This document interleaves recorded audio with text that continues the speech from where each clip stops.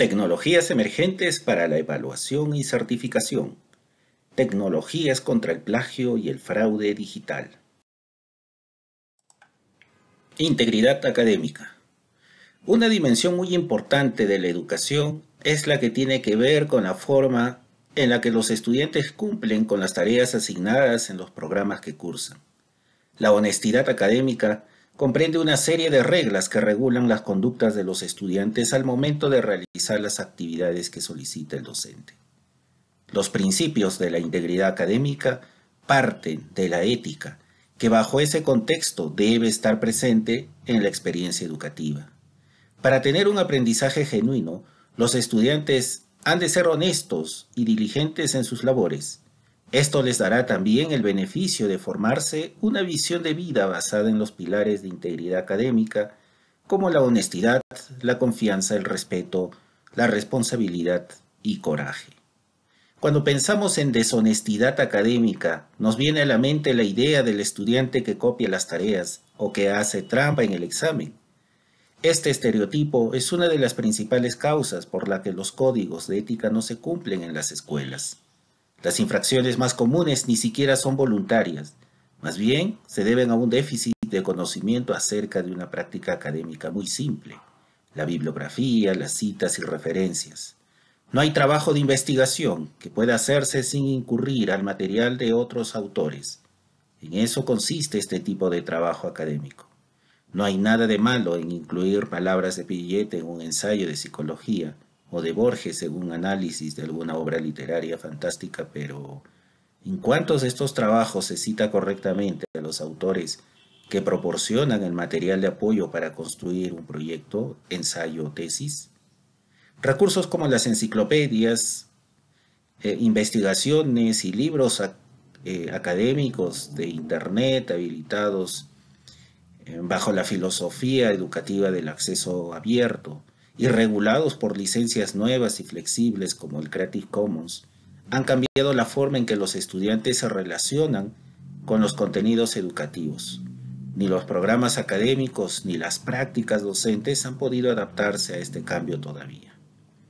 Si queremos dejar de hablar de la honestidad académica como un principio obsoleto a rescatar, es necesario ser proactivos y flexibles para adaptar las políticas a las necesidades que las tecnologías de los contenidos marcan.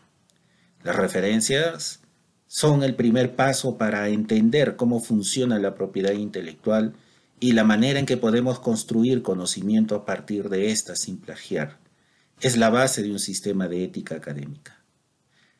¿Cuándo nos preocupamos por enseñar a los estudiantes a citar correctamente? ¿Lo enseñamos solo como una herramienta para hacer proyectos o como un componente importante de la formación ética que queremos brindar a los estudiantes. Los estudiantes comienzan a tener una vida en línea desde temprana edad, por lo que es necesario desarrollar programas académicos que inculquen una actitud ética con respecto a todos los contenidos a los que los estudiantes estarán expuestos, aún antes de que escriban su primera bibliografía, de forma que ya tengan un sentido de la ética académica antes de comenzar a manejar contenidos para sus tareas. Aspectos pedagógicos y tecnológicos. Hay algunas medidas que profesores y personal educativo pueden aplicar para elaborar programas que ayuden a desarrollar la ética académica en los estudiantes. Es recomendable partir de un análisis de los reglamentos en las instituciones educativas para poder identificar las políticas y procedimientos que regulan la deshonestidad académica. Examinar cómo son manejados los reportes de deshonestidad académica. Si existen una diferenciación o jerarquía para tratar los casos que se dan solo por falta de educación, para citar y las que realmente son situaciones flagrantes. Desarrollar una lista de recursos para los estudiantes que incluyan la metodología de uso de fuentes y ejemplos de las mismas, así como una definición de cada uno de los tipos de deshonestidad académica, sus implicaciones y consecuencias. Es necesaria también la implementación de talleres para instruir a los maestros en el uso de las tecnologías, para acceder contenidos y encontrar nuevas formas de inculcar en los estudiantes el interés de aprender cómo intersectan la ética y la interacción con los contenidos digitales. La integridad académica como principio siempre será vigente mientras haya una intención de ser dedicado y honesto con el trabajo dentro y fuera de las instituciones educativas. Pero para que esta vigencia se traduzca a la práctica, se necesita que del esfuerzo de todos los involucrados en la educación, como docentes, tutores, mentores, sea tan constante y actual como el de aquellos que producen la tecnología para el acceso a la información. La tecnología juega un papel importante en estos tiempos. Es así que vamos a abordar desde dos frentes, desde el plagio académico, que es la presentación de información como si fuera propia cuando no lo es, se presentan investigaciones y resultados que violan los derechos de autor porque no se toman en cuenta los permisos para utilizar la información en trabajos propios. Y aquí hablaremos de tecnologías que ayudan a los docentes a identificar el porcentaje y los contenidos que identifica como plagio. También el fraude en los exámenes en línea que comprende a un conjunto de acciones de estudiantes que suplantan la identidad o también están consultando páginas web, libros, manuales o incluso haciendo consultas en grupos de WhatsApp mientras están rindiendo evaluaciones. Y obviamente para esto también existen soluciones tecnológicas para poder supervisar durante las evaluaciones. ¿Cómo evitar el plagio académico? Una de las preocupaciones principales de los docentes es cómo mantener la integridad académica cuando los estudiantes no están físicamente en un salón de clases. Situaciones como el coronavirus ha obligado a los sistemas educativos de medio mundo a tomar la vía telemática para dar clases online. Esto también ha obligado a crear diferentes plataformas para presentar trabajos en línea documentos en Word, trabajos universitarios, etc. A menudo estas plataformas cuentan con herramientas de antiplagio que permiten detectar plagios de texto, citas y fuentes. Por suerte existen decenas de páginas y programas antiplagio que nos permiten adelantarnos a estas herramientas para detectar estas malas prácticas. Entre las herramientas más destacadas podemos mencionar al PlagScan, que es una herramienta de pago, pero que nos regala hasta 2.000 palabras gratis, ¿no? Eh, que, o que es lo mismo de 20 plug points, la moneda utilizada por esta plataforma para pagar el uso de sus funciones. La mayor ventaja de esta web es que elabora informes completos del porcentaje de plagio de los textos, así como una lista de las páginas web a las que se hace mención en los plagios detectados por la herramienta. Viper es una potente herramienta antiplagio online que nos permite analizar al menos en teoría hasta 30.000 palabras a la semana de manera gratuita. También cuenta con diferentes versiones de pago cuyo sistema está basado en créditos. Estos créditos a su vez nos permiten analizar un determinado número de caracteres y palabras. Playerins Checker de Dupli Checker. Aunque la página está en inglés, Playerins Checker es capaz de detectar plagios en castellano y en general de cualquier otro idioma que se le eche. Podemos copiar y pegar textos de hasta mil palabras o bien subir un documento en formato Word, PDF, Doc o Docs, entre otros muchos otros formatos. Automáticamente la web nos mostrará el porcentaje de plagio en un informe personalizado junto con las fuentes a las que hace referencia. Sin registros ni pasarelas de pago, eso sí, la web cuenta con bastante publicidad, es el precio a pagar por buscar plagios de manera gratuita. PapeRater, un antiplagio que es gratuito. Uno de los pocos programas de antiplagio totalmente gratuito, al igual que la herramienta anterior, PaperRate está totalmente en inglés, no obstante es compatible prácticamente con cualquier idioma cuenta con dos tipos de análisis, uno más ágil y otro más riguroso pero lento a la vez. También dispone de diferentes opciones de personalización que nos permiten ajustar el análisis al tipo de documento o trabajo. Eh, se utiliza para distintos niveles educativos y para distintos tipos de documento, como ensayos, tesis, cartas, etc. Otra herramienta se denomina plagiarisma. Esta web de origen británico llega como otro detector de antiplagios gratuito, mejor dicho, parcialmente gratuito. En teoría, el análisis de textos está limitado hasta los 2.000 caracteres, no obstante, si nos registramos en la web, podremos analizar hasta tres documentos por día. Asimismo, cuenta con un sistema de afiliados que nos regala hasta 5 dólares de crédito por cada persona que se registre con nuestro enlace. También cuenta con un programa para Windows de tan solo 4.2 MB de paso. Su funcionalidad replica en esencia la funcionalidad de la web. También CopyLeaks nada tiene que ver con Wikileaks. Esta web llega como una herramienta multifuncional capaz de analizar textos de diferente naturaleza. Su enfoque no se limita al ámbito académico, sino que se abre para cualquier tipo de texto que tenga presencia en Internet. Textos SEO, campañas de marketing, páginas web, trabajos de investigación, leyes, entre otras. Es de pago, aunque admite análisis de documentos de hasta 10 páginas de contenido. Quitex. Probablemente el detector de plagios más sencillos de todos, sin publicidad y sin mensajes emergentes. Basta con escribir o pegar el texto que queramos analizar y pulsar con el botón pertinente. Automáticamente la web analizará todas las frases sospechosas y fuentes de documentos para compararlas con sus fuentes internas. Acto seguido, Quetex nos mostrará una barra con el porcentaje de plagio detectado, así como una lista de páginas web y artículos con textos similares a los del documento. Más allá de la simplicidad de su interfaz, lo más destacable de la web es su velocidad de análisis, bastante más rápida y ágil que otras opciones.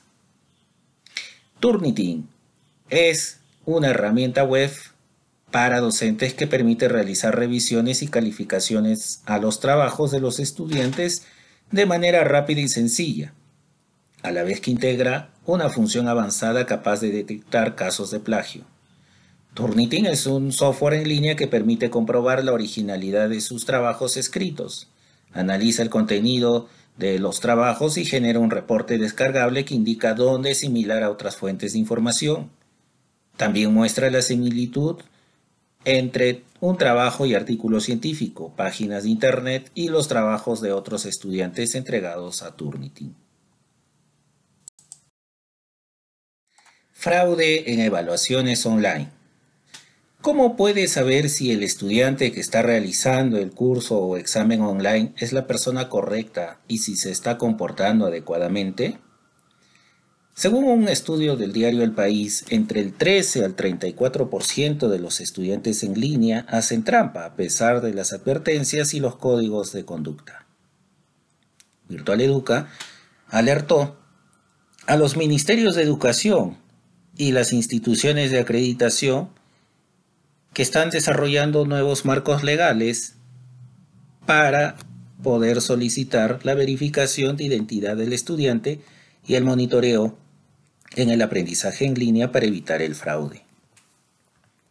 Por ello, los métodos docentes están cambiando a pasos agigantados en los últimos años.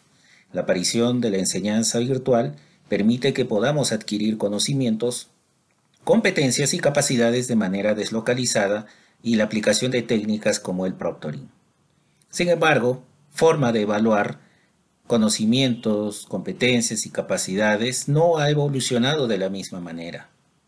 Las modificaciones educativas se han basado en el proceso enseñanza-aprendizaje y su progreso ha sido menor en el procedimiento de evaluación. El problema que surge en la actualidad es cómo solucionar la necesidad de que el estudiante y los docentes que certifiquen los conocimientos estén presentes cuando la formación se realiza de forma remota, en distintas ciudades, países e incluso continentes.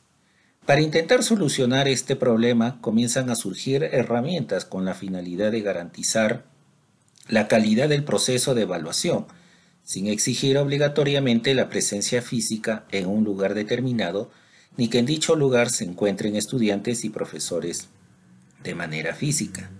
La herramienta que más ha avanzado es el proctoring, que posibilita utilizar exclusivamente recursos telemáticos que los estudiantes pueden realizar las pruebas en el lugar donde se encuentren y éstas puedan supervisarse desde otros lugares.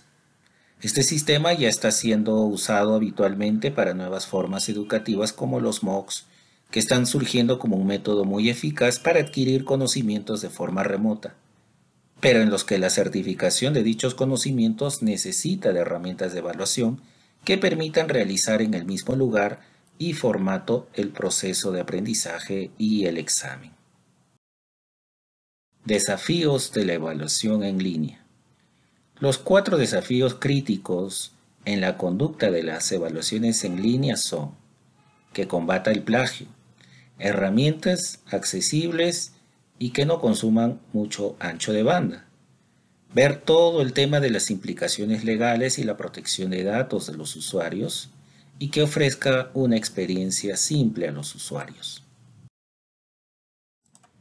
¿Cómo podemos evitar el fraude en los exámenes en línea? Una de las principales preocupaciones de los centros educativos al realizar un examen en línea es el aparente riesgo de malas prácticas que conlleva debido a la falta de vigilancia humana. Los estudiantes idean técnicas creativas para hacer trampas en una evaluación ya sea en línea o fuera de línea. Una de las ventajas de realizar exámenes en línea es que viene con controles y herramientas para evitar que se lleven a cabo malas prácticas. Quizás estos controles y equilibrios hacen que los exámenes en línea sean más seguros y eficientes para eliminar las malas prácticas. Y estos son los pasos que o los aspectos a considerar para evitar fraudes en las evaluaciones en línea. 1. El navegador seguro. La seguridad es un aspecto importante del examen. Una función durante el proceso del examen en línea debe impedir la apertura de otra ventana o pestaña en el navegador. La tecnología Secure Browser evita que los usuarios abran cualquier otra ventana mientras realizan el examen en línea. El usuario solo puede acceder a la ventana de examen. El acceso a los atajos de teclado para copiar, pegar y capturar la pantalla no está permitido. 2. Supervisión remota. La supervisión remota o e-proctoring es un proceso de supervisión en la que no se requiere que un supervisor físico esté presente en la sala donde se realice el examen en línea. En una prueba supervisada remota, los candidatos son monitoreados durante la duración de la prueba a través de la cámara web, el micrófono y el acceso a la pantalla del dispositivo del candidato. 3. Autenticación remota de candidatos. El primer paso en un examen en línea es la verificación de la identidad de un candidato. Para muchos centros, una preocupación importante al cambiar a los exámenes en línea es la autenticación de la identidad del candidato. La suplantación de identidad es una de las principales formas de malas prácticas que tienen lugar tanto en los exámenes en línea como fuera de línea. 4. Cifrado de datos durante el tránsito. Los datos del sistema de examen en línea deben cifrarse para evitar cualquier tipo de mal uso. El cifrado de datos juega un papel importante en la prevención del acceso no autorizado a las preguntas. También ayuda a evitar la manipulación de resultados y bloquea el acceso sin credenciales válidas. Es una característica virtual para garantizar la seguridad del examen. Esto garantiza la confidencialidad de los documentos de preguntas que se intercambian entre el servidor y el cliente. 5. Temporizador para cada pregunta. Algunos centros realizan exámenes en los que se han estipulado una duración de tiempo para cada sección o cada pregunta en el examen. Se debe seguir una secuencia específica mientras aparece en el examen. A cada pregunta se le asignará un tiempo específico. Si el candidato no contesta la pregunta en el tiempo especificado, el sistema pasa a la siguiente pregunta. 6. Configuraciones en LMS. Sobre este punto explicaremos en las siguientes eh, láminas acerca de las estrategias que podemos adoptar dentro de las eh, plataformas virtuales educativas. Buenas prácticas de evaluaciones en línea en el MS Moodle. A continuación, se comparten una serie de recomendaciones o buenas prácticas que los docentes pueden llevar a cabo dentro de la configuración de evaluaciones en línea que les permita minimizar los intentos de fraude de los estudiantes al aplicar estos tipos de actividades. 1. Habilitar el navegador de examen seguro SAFE. El Safe Exam Browser, o llamado SAFE, es un navegador de bloqueo de código abierto que permite a los docentes restringir el acceso de los estudiantes a sitios web externos. Funciones del sistema u otras aplicaciones mientras realizan una evaluación en línea. CEF ayuda a los docentes a ofrecer evaluaciones en línea mejoradas y seguras al convertir la computadora en una estación de trabajo segura. CEF se utiliza en una amplia gama de instituciones de enseñanza, universidades, escuelas, formación en el trabajo y principalmente junto con la vigilancia en persona, para asegurar la honestidad de las evaluaciones. Desde Moodle 3.9, CEF está disponible por defecto en la configuración de las eh, quizzes o cuestionarios en línea, permitiendo a los docentes configurar fácilmente el entorno controlado para que los estudiantes hagan los quizzes de manera correcta. 2. Usar formato de importación de preguntas. Una de las primeras cosas con las que se encuentra quien empieza a poblar el banco de preguntas de Moodle es lo tedioso que resulta ir editando pregunta a pregunta directamente desde la web. Esto es especialmente desesperante cuando se han de generar baterías grandes de preguntas.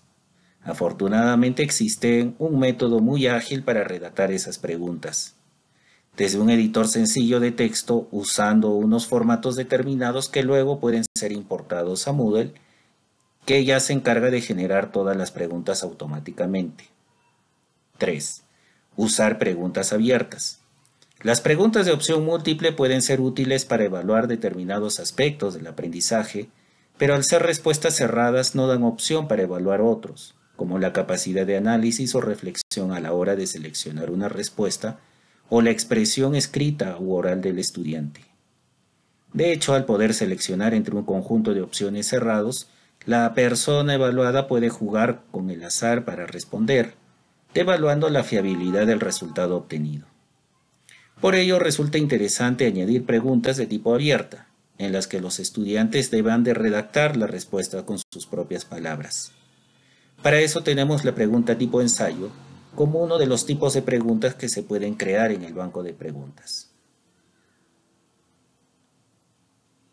Usar la aleatorización. Cuando se hacen exámenes en los que no se puede tener una supervisión en los estudiantes, siempre cabe la posibilidad de que alguien tenga la tentación de hacer trampas. Varias personas en una casa haciendo el examen juntos, usar una aplicación de chat para responder entre todos o cualquier otra variante que suponga hacer examen de forma colaborativa, eliminando el componente de individualidad requerida para una correcta evaluación. La aleatorización en las preguntas puede dificultar estas prácticas haciendo que los exámenes de todos los estudiantes sean diferentes. 5. Crear variantes de preguntas. A veces, en lugar de tener una gran cantidad de preguntas diferentes en el banco, es conveniente crear variantes de una misma pregunta. De este modo, el estudiante no recibe a cada instante del examen una selección completa distinta de preguntas, lo que puede crear suspicacia sobre la suerte en las preguntas recibidas, sino que recibe preguntas similares en cuanto a temáticas, pero en las que se preguntan cosas diferentes para que la respuesta no sea la misma. Para hacer esto basta con definir las variantes que se quieren hacer de una misma pregunta y ponerlas todas bajo la misma subcategoría. Por ejemplo, podemos crear una categoría dentro de un examen de ofimática llamada funciones condicionales Excel. Y dentro de ellas podemos crear subcategorías donde se incluyan preguntas similares que luego podemos configurar que se aleatoricen. 6. Controlar el comportamiento de las preguntas antes, durante y tras la prueba. Una de las ventajas de los cuestionarios de Moodle es que una vez diseñados se corrigen automáticamente. De este modo, los estudiantes pueden recibir el feedback de la evaluación en el preciso instante en que le hacen clic a enviar. Sin embargo, quizás no sea una buena idea que en un entorno no controlado como el de los estudiantes haciendo el examen en casa, unos estudiantes ya pueden saber si han hecho bien o mal el examen, qué preguntas han fallado o cuáles eran las respuestas correctas. Para controlar esto hay una serie de opciones en la configuración del cuestionario que nos permiten definir cómo se comportará el cuestionario una vez se haya entregado. Si vamos a editar ajustes en una actividad de tipo cuestionario, las veremos. Lo primero es determinar cuándo se abre y se cierra el formulario. Esto es entre qué dos momentos el estudiante puede acceder al cuestionario. Eso está en temporalización. Paginar el examen. Cuando se seleccionan las preguntas del examen, se le puede definir cuántas preguntas habrá en cada página. Dos, tres, cuatro, o incluso también una pregunta por página o todas las preguntas por página. Acá la recomendación es utilizar más de una página donde eh, puedan mostrarse las preguntas de una evaluación. Adicionalmente, en editar ajustes del cuestionario se puede repaginar a otro valor. Con esto podemos controlar cuántas preguntas aparecerán al estudiante en cada página. ¿Y por qué es esto importante? Pues porque cada vez que se cambie de página, Moodle guarda las respuestas que ha introducido el estudiante. De esta manera, si se le cuelga el navegador, se le apaga la computadora, se va la luz o ocurre alguna otra situación imprevisible que haga que un estudiante se desconecte del examen, las preguntas que haya introducido se recuperan en el momento que se vuelve a conectar.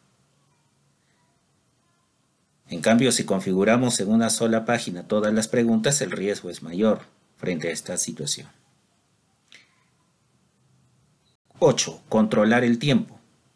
Una de las medidas más efectivas para garantizar la fiabilidad de la prueba a distancia es limitar el tiempo para resolver la prueba.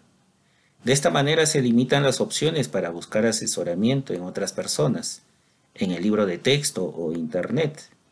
Para hacerlo hay que indicar el límite de tiempo en los ajustes de cuestionario. Incluso se puede definir un periodo de gracia que se iniciaría en el momento que se llegue a la hora de cierre del cuestionario en la cual el estudiante ya no puede responder a más preguntas y tiene que decidir si entregar o no. 9. Analizar el desempeño de las preguntas. Para que un examen en línea sea eficaz no basta con configurar correctamente la actividad. También hay que seleccionar y redactar adecuadamente las preguntas que se van a hacer. En primer lugar, antes de redactar las preguntas es importante tener claro el nivel de conocimiento del estudiante que queremos evaluar para así seleccionar enunciados acordes a lo que se quiere medir. Aún así es posible que las preguntas seleccionadas no sean los instrumentos adecuados para medir el nivel de conocimiento, pero eso solo lo sabremos una vez hayamos probado el cuestionario. Moodle nos ofrece una herramienta para analizar las estadísticas del examen y determinar qué preguntas son demasiado fáciles. Más del 70% de los estudiantes las aciertan, o demasiados difíciles, menos del 20% de estudiantes lo aciertan.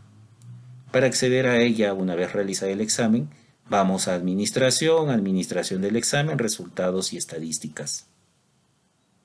10. Renovar preguntas con frecuencia.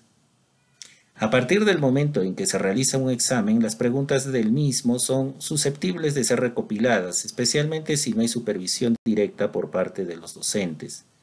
Recordemos que hablamos de exámenes a distancia. Con un poco de ingeniería social es bastante plausible que todas o casi todas las preguntas del banco de preguntas acaben en un documento que acabe circulando entre los estudiantes.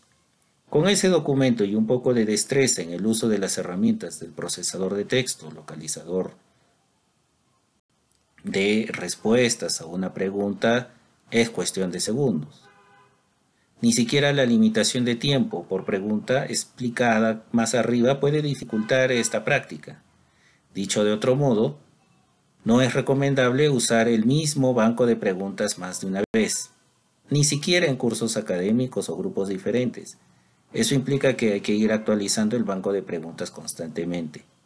Si lo enlazamos con el punto anterior, esto supone una oportunidad para ir actualizando las preguntas a partir de los resultados estadísticos obtenidos en el análisis de las mismas.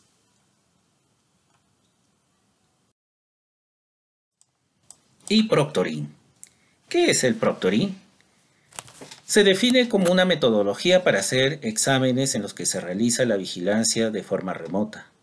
Los exámenes pueden ser informatizados, o digitalizados, normalmente de tipo online. En la actualidad cada vez es más normal que los exámenes puedan realizarse de forma online. La vigilancia puede realizarse de forma visual y auditiva usando cámaras, normalmente las del propio ordenador o las del teléfono móvil del estudiante.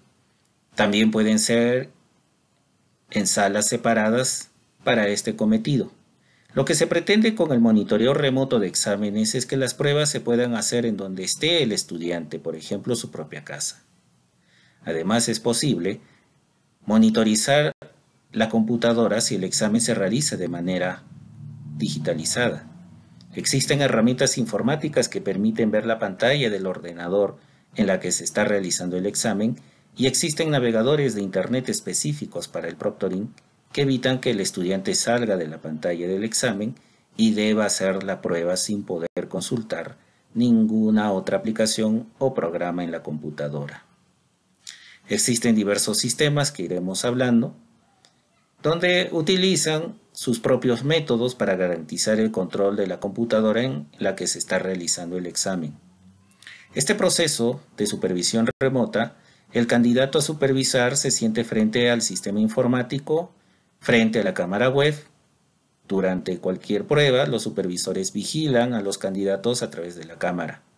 Pueden detectar fácilmente cualquier método de actividades de trampa, como notas de trucos o materiales de estudio no autorizados o el uso de cualquier otro dispositivo electrónico. Los supervisores a cargo pueden invitar al candidato y también pueden ver toda la sala del examen.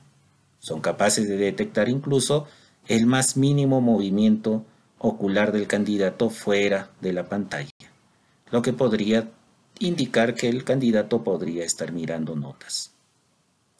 ¿Y de dónde viene este término?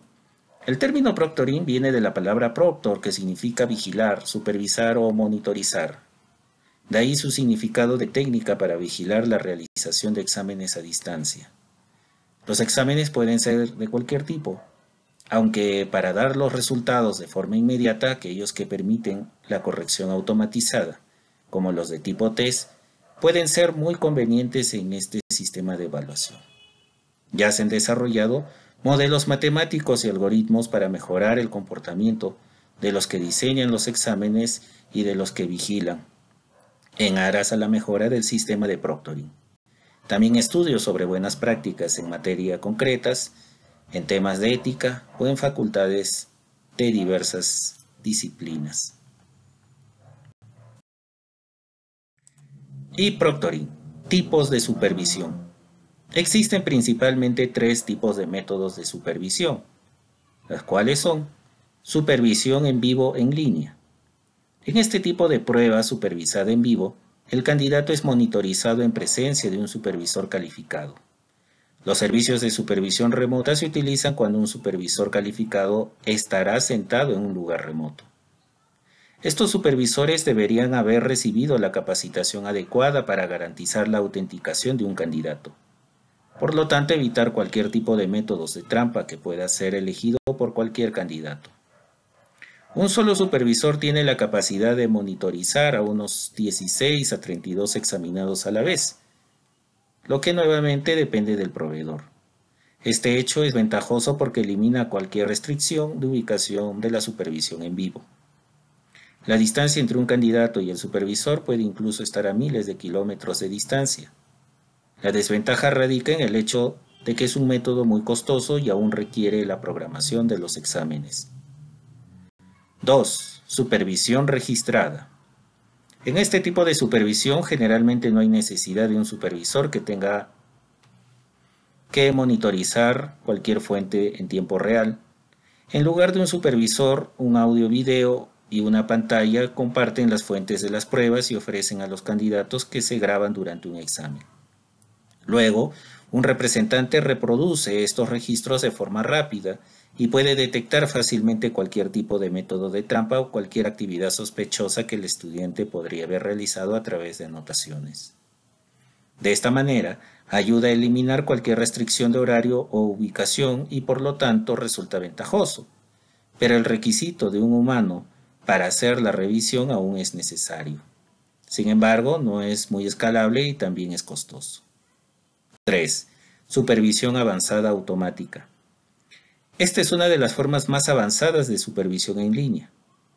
Este también necesita alimentación de video, audio y pantalla compartida de los candidatos que se graban durante una prueba en particular. Además de grabar los feeds de cualquier candidato, también monitoriza cualquier actividad sospechosa que pueda tener lugar mediante análisis avanzados de audio y video. El proctoring automatizado también asegura que los estudiantes pueden concentrarse en la prueba. En presencia de suficiente luz en la sala de prueba, cualquier actividad sospechosa, los objetos pueden detectar fácilmente. También pueden detectar cualquier tipo de actividad de voz de fondo para marcar la prueba.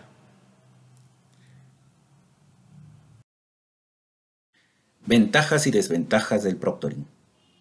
Este método de supervisión en línea se ha hecho muy famoso en los últimos años. Ha sido ampliamente aceptado en todo el mundo entregando cualquier examen a los estudiantes. La supervisión en línea o la supervisión remota tiene sus propias ventajas y desventajas. Ventajas. No hay necesidad de construir ningún sitio establecido. Incluso un candidato puede ahorrar tiempo y dinero viajando a un centro de examen en particular. La supervisión remota o en línea ha demostrado ser muy útil. Tiene ventajas y desventajas en ciertos campos, como estructura del examen, entorno de prueba, comodidad y ansiedad, costo y tecnología.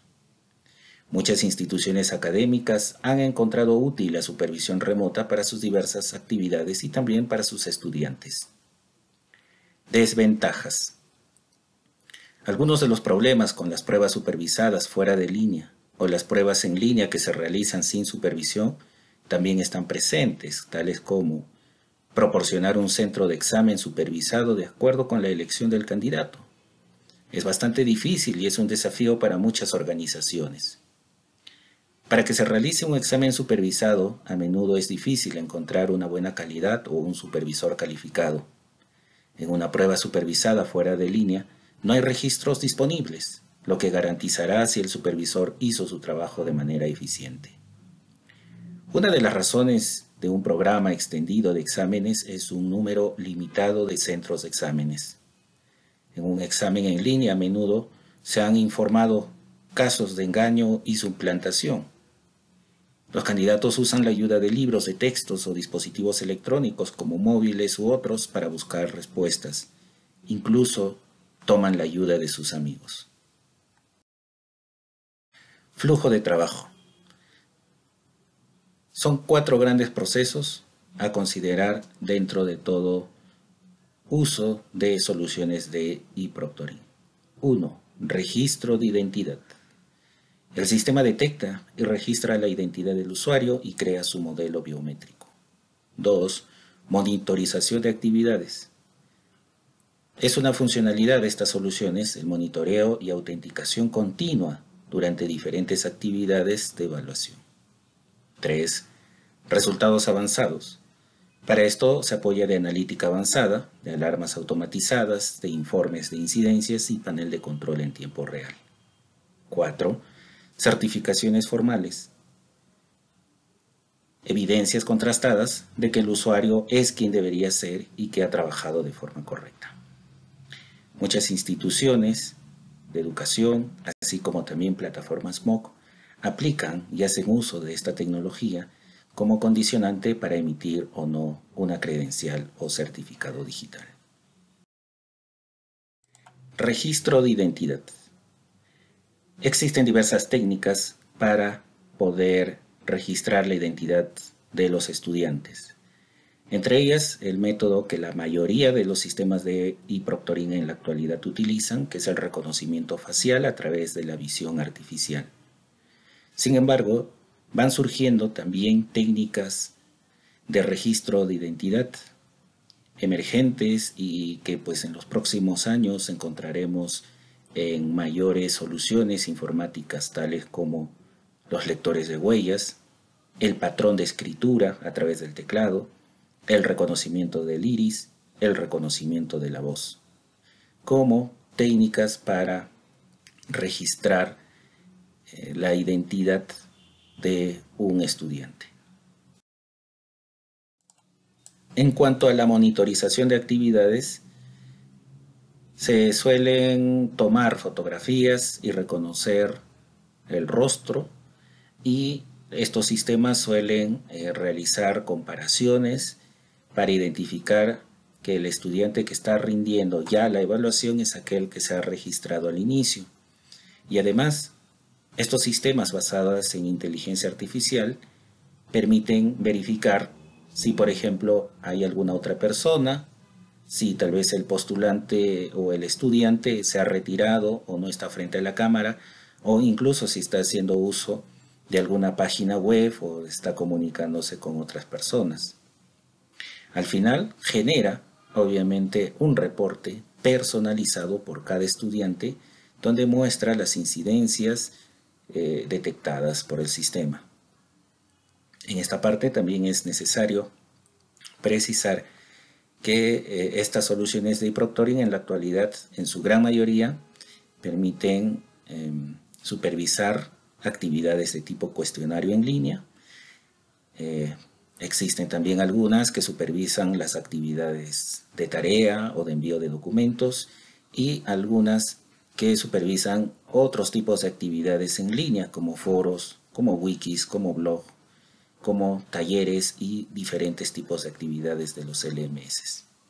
Obviamente con el pasar de los años, en los próximos años, vamos a encontrar pues em, que estas soluciones van a monitorizar prácticamente todo tipo de actividades eh, virtuales que se realicen por los LMS.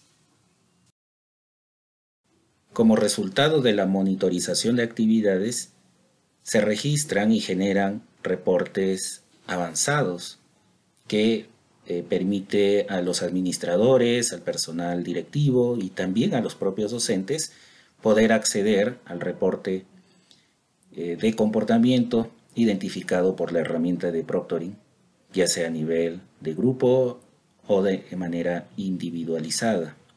Podemos ver, por ejemplo, en la parte inferior derecha, un reporte de un estudiante donde se observa pues si han habido situaciones eh, que ha detectado, por ejemplo en este caso otra persona acompaña o está junto al estudiante durante la evaluación. Entonces lo muestra, por ejemplo, de color rojo, ¿no? de color eh, celeste o color amarillo, incidencias menores.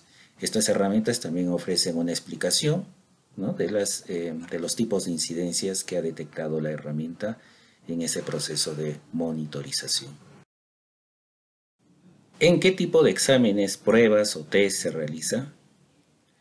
El proctoring tiene diversas aplicaciones en distintos campos. Se usa con mayor frecuencia en la contratación de personal en línea y a la hora de realizar cursos o programas en campus virtuales. Esta técnica se utiliza cada vez más, así como en el teletrabajo.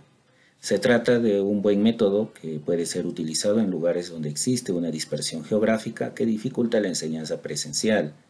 También están aumentando las universidades en línea y la formación profesional a, distancia para estudiantes e incluso para funcionarios y trabajadores.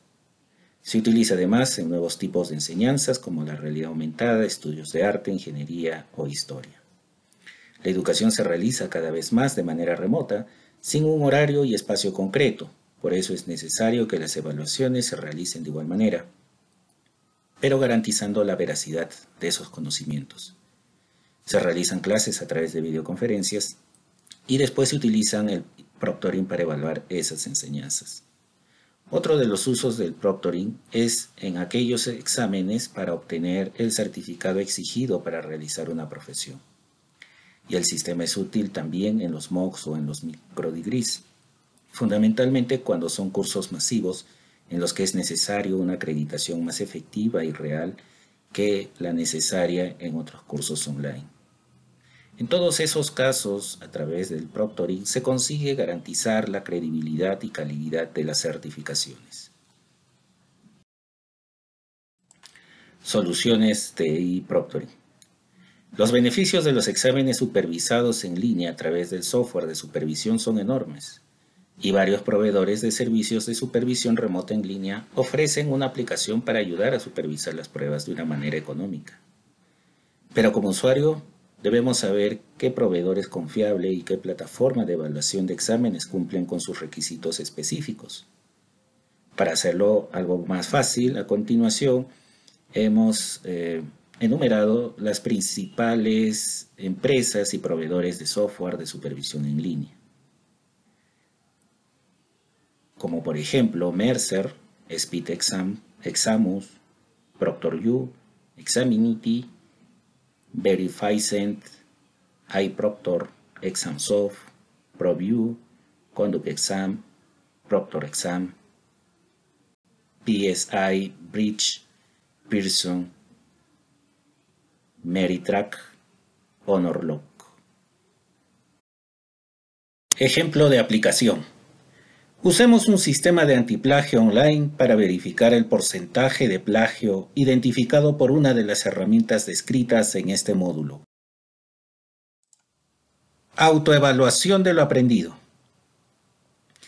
En este recurso hemos conocido herramientas digitales para combatir el plagio y el fraude durante la evaluación en línea. ¿Qué nuevas funcionalidades esperarías en los próximos años para contar con tecnologías que combatan al 100% de estas malas prácticas durante las evaluaciones? Cierre. Iniciamos revisando conceptos y características de la integridad académica. Existen dos frentes muy claros a combatir, el plagio académico y el fraude durante las evaluaciones en línea. Se han descrito además diversas herramientas para evitar el plagio académico. Se abordó los desafíos de la evaluación en línea y cómo evitar el fraude, mediante estrategias como navegador seguro, supervisión remota, autenticación remota de candidatos, cifrado de datos durante el tránsito, temporizador para cada pregunta y configuraciones en LMS. En cuanto a este último punto, se han compartido buenas prácticas que se debe tener en cuenta al momento de implementar evaluaciones en línea, como habilitar el navegador de examen seguro, usar formatos de importación de preguntas, usar preguntas abiertas, usar la aleatorización, crear variantes de preguntas, controlar el comportamiento de las preguntas antes, durante y tras la prueba, paginar el examen, controlar el tiempo, analizar el desempeño de las preguntas, renovar preguntas con frecuencia. Finalmente se han descrito y caracterizado a los sistemas de proctoring, así como se presentaron algunas de dichas herramientas.